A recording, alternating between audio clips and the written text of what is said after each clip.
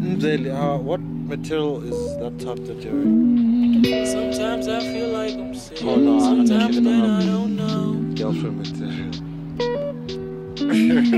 Sometimes I just wanna It Sometimes something then yeah, I like don't I'm gonna know. click or I have a Oh, Shout out to LTP.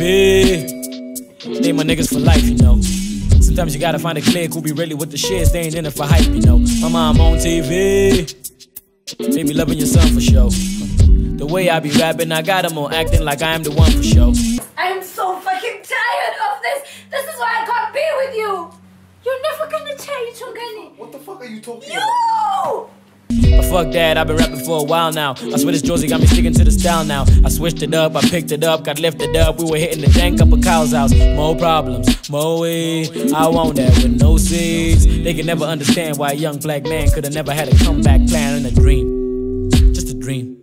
I know niggas who could never have a dream Cause they never had a dad and they never had a queen And they never had a squad and they never had a team To show them the ropes, to show them there's hope, you know.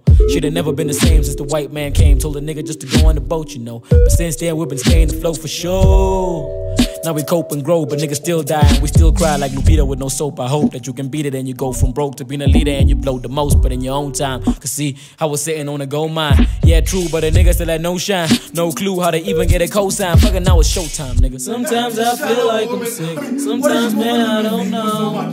What are you doing? Carrying my child? You were just a boy that made me laugh at a party, and now I. Sometimes, man, I don't The know. sight of you. J O Z I, where everybody trying to get by. Where all the niggas try to convince all the bitches that having all the riches makes you the best guy. The city made me addicted to bad bitches. The city made me a victim of catfishing. The city's crazy and everybody fugazi hang around the wrong people. Wake up with your cash missing.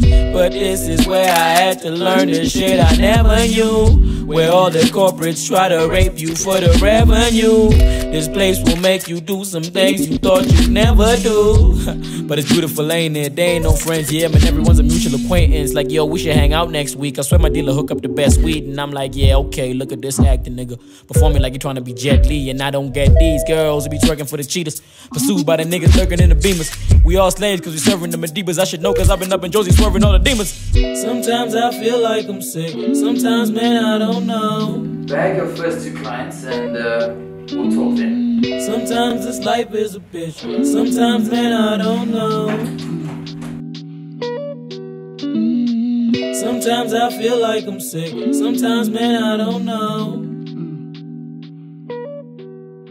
Oh yes, Sometimes before that it's it's going to be on this. Afroland, uh, the, the, the US platform, whoop whoop. Um, and then uh, after that, Thanks guys for coming and um, if you guys have, have any questions, you're more than welcome to ask.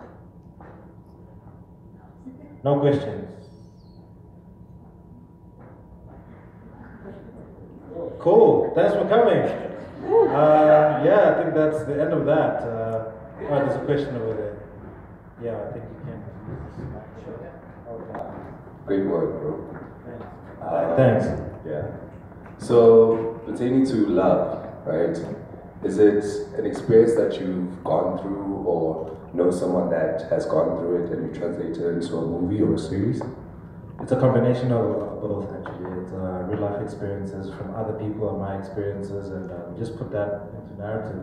Him and I sit down and sort of play around with uh, crazy things, and uh, this came up. Yeah, And how many writers are it's just him and I so far. Uh, we're trying to, of course, uh, grow the team because capacity is, is quite important. Uh, we have to divide the work because it's quite overwhelming. You know, just the two of us doing everything.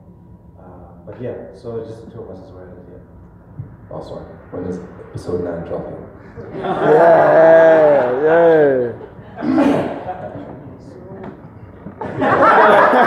what I'm gonna say um, is that that question is like if my girlfriend was in labor right now, the baby hasn't come out, and you're asking me when I'm having my next baby. um, but soon, because we love making babies. So. um, no, but yeah, but soon. You can expect it soon. Yeah, yeah, exactly. um, yeah, cool. Thank you so much, guys, for real.